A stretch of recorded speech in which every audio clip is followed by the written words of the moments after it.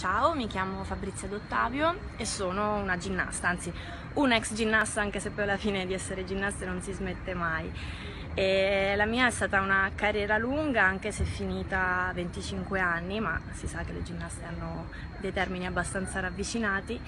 E, um, una carriera intensa e gli ultimi sette anni li ho passati nel Team Italia con la nazionale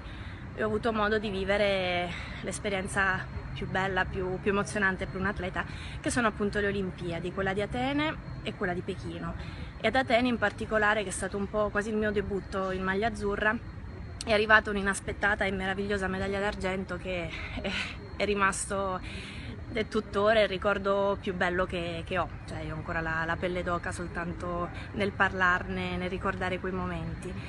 E, um, a 25 anni dopo Pechino ho smesso appunto di, di gareggiare. Ovviamente non è stato facile ricominciare da capo perché alla fine mi sono ritrovata nel, nella realtà diciamo quotidiana che però fino a quel momento non avevo vissuto perché ero vissuta sempre all'interno della, della mia bolla fra allenamenti e compagni di squadra.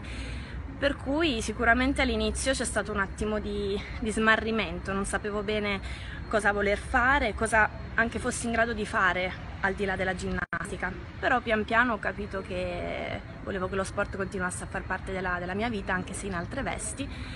quindi ho cercato di, di, prendere tutto ciò che la ginnastica mi aveva lasciato di positivo, un bagaglio di esperienze, di, di affetti, di contatti.